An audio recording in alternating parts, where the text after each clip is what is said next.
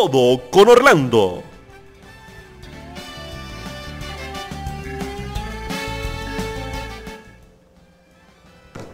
Queridos amigos, sean ustedes bienvenidos. Yo soy Orlando Urdaneta, están viendo CB24 desde el corazón verde de Centroamérica, transmitiendo para nuestra región, el resto del mundo, las galaxias circunvecinas y los extraterrestres que a diario se reportan en nuestras redes. Antes de comenzar con el análisis, un comentario. ¿Por qué? Porque puede llegar a verse también en las galaxias circunvecinas, pero por ahora el pánico cunde es en el globo terráqueo. Estados Unidos se recuerda con pavor lo que llamaron la fiebre española. Y eso fue una fiebre que diezmó la población y mató gente y gente y gente. Ahora hay otra fiebre, es la fiebre catalana, que es la fiebre de independencia. Entonces, estamos viendo con horror cómo al transmitirse, propagarse el virus de la fiebre catalana que lo transmite un mosquito llamado el Puigdemontis separae, que es un nombre científico en latín. El Puigdemontis separae es un anófeles peligrosísimo. ¿Por qué? Porque ya su virus recorre el planeta. Entonces, fíjate, no es Cataluña que se quiere separar. Ahora se quieren separar las Malvinas. Entre ellas, no quieren pertenecer ni a Argentina ni a Londres. Las Malvinas, ellas se separan entre ellas. Las Fiji también se quieren separar, se quieren independizar una de la otra. Esto es un peligro grandísimo porque además cuando siga esta terrible, terrible este, enfermedad, se van a querer seguir separando otros territorios. Ahora imagínense ustedes, cuando se quieran separar las Caimán, ¿ustedes se imaginan cómo puede uno navegar por esa zona del mundo si las Caimán se separan y entonces hay una caimana para cada lado, una caimana por aquí, una caimana por allá? Todo lo contrario de una caimanera. Entonces definitivamente es grave la fiebre catalana porque repito, hay territorios que comienzan a pedir su independencia. Dígame las Bahamas. Bueno, las Bahamas están desesperadas por separarse. Y entonces dice, bueno, pero ¿y cómo hacemos? No sé, yo me voy para arriba y tú bajas más. Yo sigo aquí muy preocupado. Ustedes vean a ver qué hacen.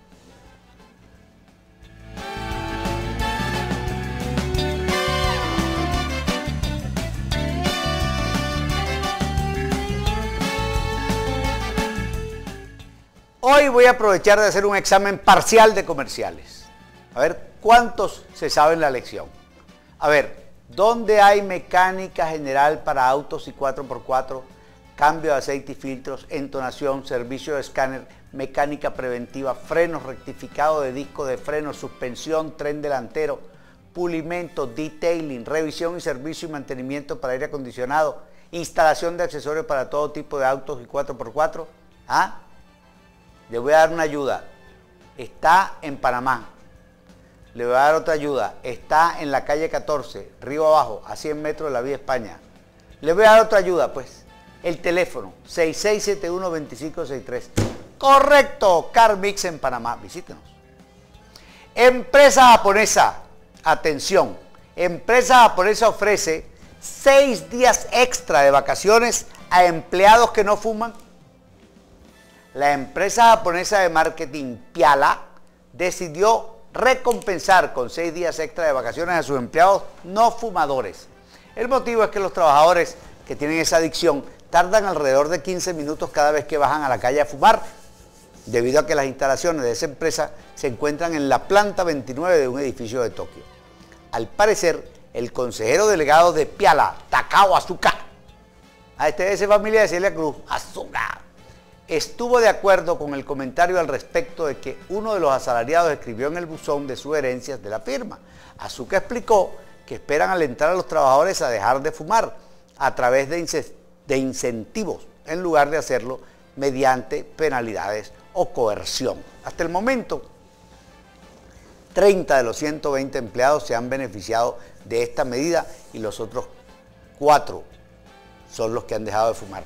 Es impresionante, de verdad que los japoneses fuman más que nadie en el mundo. Yo creo que le ganan en eso a los españoles. Qué cosa tan increíble. ¿Cómo fuman a la velocidad que fuman? Yo tuve una vez un, sensei, el Yamaha Sensei, uno de los más importantes sensei vivos del Aikido.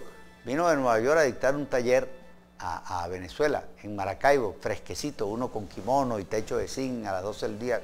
Una belleza el taller. Y Yamaha Sensei, yo no lo sabía.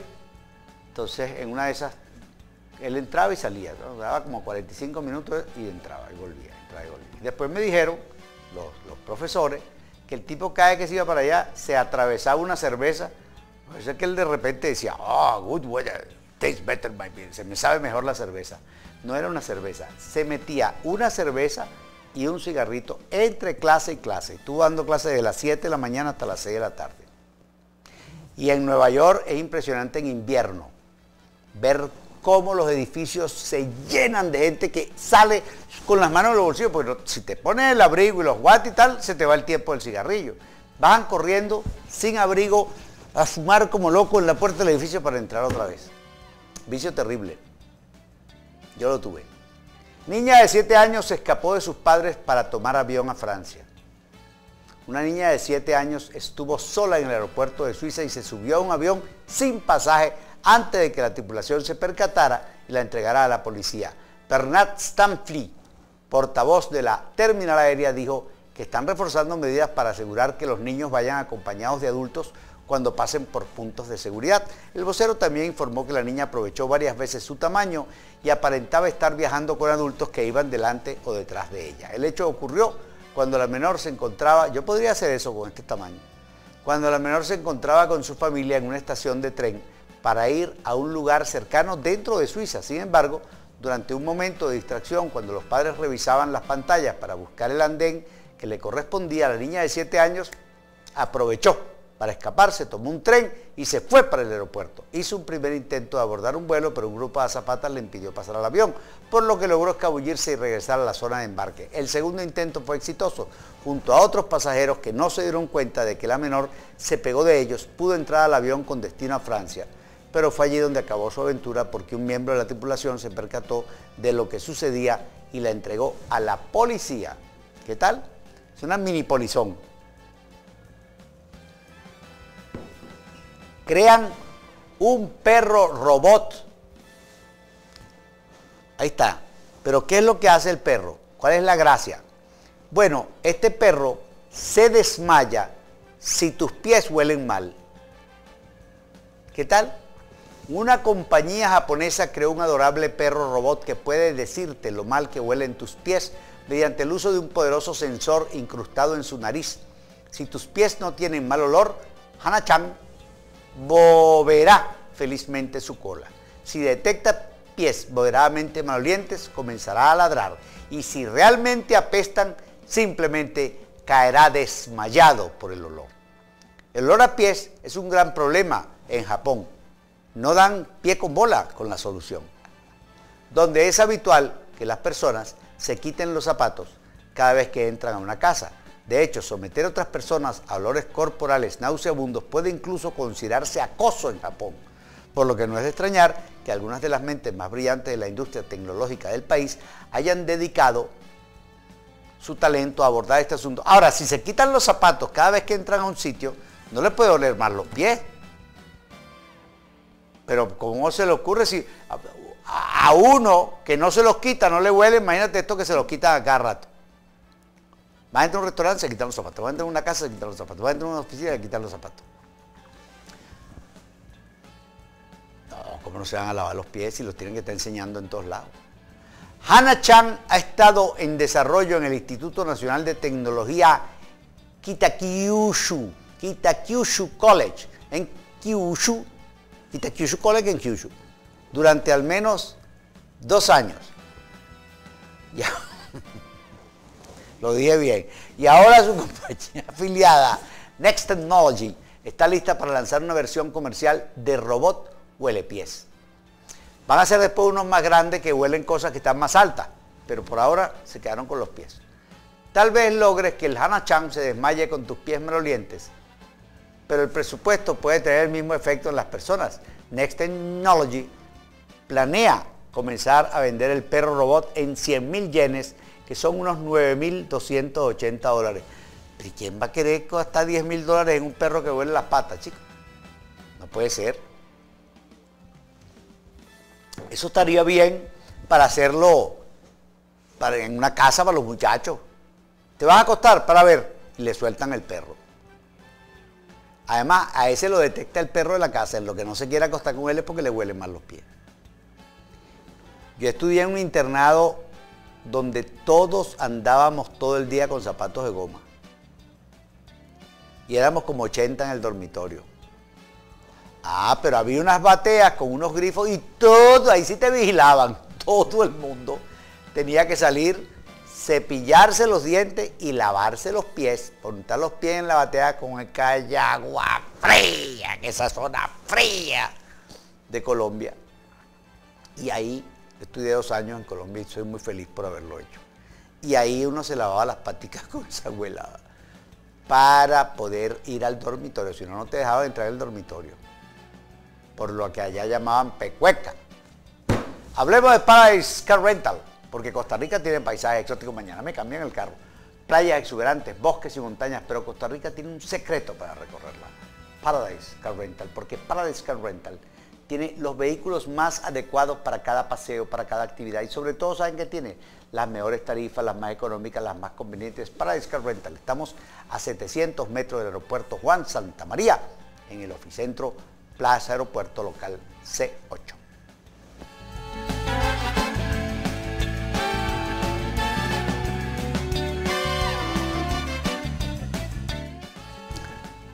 Hola. Continuamos. Tailandesa se casa con al menos ocho hombres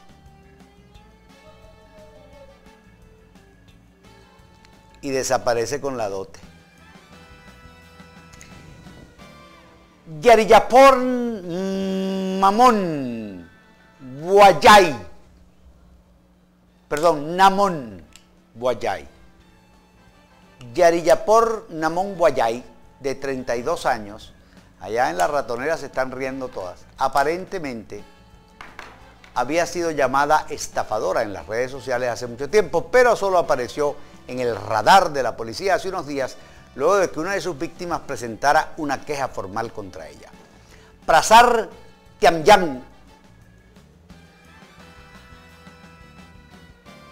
se llama Prasar Tiamyang, de 32 años, afirma que recientemente vio un mensaje en Facebook advirtiendo a los hombres tailandeses que se mantuvieran alejados de Namón y la reconoció como la mujer con la que se había casado hace dos años. Luego de que ella le dijera que había quedado embarazada. Le dijo, pero de un amor. La mujer desapareció días después de la boda con una dote de 6 mil dólares y nunca regresó. Prazar dijo a la policía que su ex esposa lo añadió a Facebook en febrero de 2015 y nueve meses después, saque la cuenta, de su relación le dijo que había quedado embarazada, que debían casarse. Solo cuatro días después de la boda, la mujer le dijo que tenía que ir a ayudar a sus padres con su negocio. O sea, los padres no tenían el negocio, ella los iba a ayudar con su negocio, que era el que más real le daba y que estaría en contacto, pero no fue así. Después de un tiempo el hombre recibió una llamada telefónica de una mujer que afirmaba ser la sobrina de su esposa, diciéndole que había perdido el bebé y que no debía tratar de contactarla nunca más. Poco después que la historia de esta novia fugitiva apareciera en los medios de comunicación, otros hombres se acercaron a acusarla de haberlos estafado con la dote de su boda. Un hombre que prefirió permanecer anónimo dijo que la novia serial lo añadió a Facebook en febrero de este año y lo engañó para que depositara una dote de 15 mil dólares en su cuenta bancaria antes de desaparecer. La mujer simplemente le hizo saber que no era un buen momento para que ella se casara debido a un mal horóscopo. ¿Qué opinará de esto José Hernández? Otra víctima, conocida solo como Witch, no, Witchit, porque Witch es bruja, pero este Witchit, dijo que estaba en contacto con otros siete hombres que habían sido engañados. La joven había contactado a todos ellos a través de Facebook, se acostó con ellos en su primera cita, bueno, un sacrificio, ¿no? Y les dijo que estaba embarazada. Todos estuvieron de acuerdo en casarse con ella y la novia huyó con su dote de boda. Bueno, muchachas, las que no estén estudiando, las que no tengan trabajo y tienen una actividad, preñarse por Facebook. Se hizo famoso por inventar una cafetera parlante que no existe. Marcos Castaño, un joven de la provincia de Córdoba, ay qué susto, yo tengo una nuera, pero es Castaño, de Argentina, se hizo famoso en el año 2000 por un invento que decía haber creado una cafetera parlante multifunción. Ese prototipo, sin embargo, nunca existió. El entonces estudiante de ingeniería se mantenía con un pequeño trabajo y una beca, pero debido al contexto económico desfavorable, perdió su fuente de ingreso y decidió recurrir al engaño, se te iba a decir, y perdió su moral también, para poder seguir estudiando. Su abuelo también se había quedado desempleado y para Marcos dejar de estudiar no era una opción. Tenía que salir a buscar una beca porque no podía seguir estudiando, tenía que inventar algo y era necesario también mentir, declaró Marcos. En aquel momento el joven les contó a sus amigos más cercanos que estaba trabajando en un proyecto de la Universidad Tecnológica Nacional con el que competía con otras universidades. Según sostenía en ese momento, había desarrollado el prototipo de una cafetera que no solo preparaba café, que es ya una, una gran labor de parte de una cafetera. No, el dispositivo tenía la capacidad de guiar al usuario a través del transporte público ¿Cómo es eso? Una cafetera Waze. Una cafetera GPS. Así como proporcionar información disponible en las guías telefónicas. O sea, una, una, Siri que hacía café. Todo esto en cinco idiomas además. Una vez su engaño tomó vuelo propio, no tuvo más opción que seguir el juego no se le ocurrió mejor idea que decir que había obtenido una beca en Japón la noticia corrió por su pueblo hasta que el director del colegio en el que había estudiado lo invitó a dar una charla ante estudiantes para motivarlos. A partir de ahí todo se fue de sus manos, hasta llegó a sacarse una foto con el gobernador de su provincia. Acorralado por su propio engaño, Marcos denunció que un grupo de ninjas, si fueran niñas como las que yo tengo aquí en la cabina, lo creo, pero ninjas al lado de estas niñas son inocuos. Un grupo de ninjas lo había interceptado en el aeropuerto de Sao Paulo, Brasil. Le habían robado los planos de su invento. También declaró ante la prensa que un inexistente coordinador de la también inexistente Fundación Motorola, quienes supuestamente lo apoyaban en su proyecto, había recibido un balazo. Este tipo tiene que escribir novelas de ciencia ficción. Cuando los medios de comunicación se pusieron en contacto con funcionarios y con la empresa Motorola para verificar la información, la mentira del joven estudiante quedó expuesta definitivamente. Qué pena, pero qué bueno el chico, ¿ah? Qué bueno. ¿Y ahora qué hace? El tipo ahora está perfeccionando una afeitadora que cuenta historias para dormir. Claro, usted se afeita y se va quedando dormido. Cuidado, se corta. Moscú facilita un autobús. Mira, esta es una maravilla. Pongan atención. Moscú facilita un autobús para que los compradores del iPhone X pasen la noche. ¿Qué tal? Porque, claro, la gente tiene que hacer la cola para estar cerca de la puerta para recibir los tickets en lo que abren la tienda. Trans, la compañía estatal que opera redes de transporte público en Moscú, ha proporcionado un autobús para que las personas que aguardan en la céntrica calle Sverskaya, Sverskaya, porque desean comprar un iPhone, puedan pasar la noche. Un portavoz oficial de esa empresa asegura que no importa el motivo por el que esos jóvenes esperan, pero no queremos que contraigan neumonía por culpa de una moda. Aunque ese dispositivo de Apple comenzará a venderse en la capital de Rusia a partir de las 8 horas del viernes, la cola empezó a formarse el pasado 30 de octubre, con lo cual quienes desean ser los primeros compradores podrían pasar varios días a la intemperie. Por este motivo, en los aledaños del comercio también se instalarán calentadores de aire y cafeteras. ¿Viste? Las cafeteras que hablan. Van a estar en Rusia las cafeteras que hablan. ¡Qué maravilla! Y claro, cuando es de noche la cafetera empieza, duérmase mi niño, que tengo que hacer.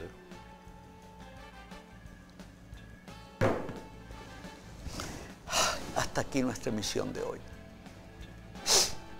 Yo sé que es duro también para mí separarnos.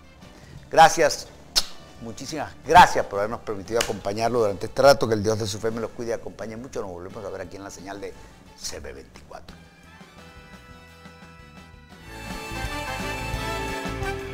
CB24, el canal centroamericano de noticias, a nombre de Paradise, el car rental que le brinda las tarifas más económicas a la hora de alquilar el mejor vehículo para su viaje de negocios o de placer.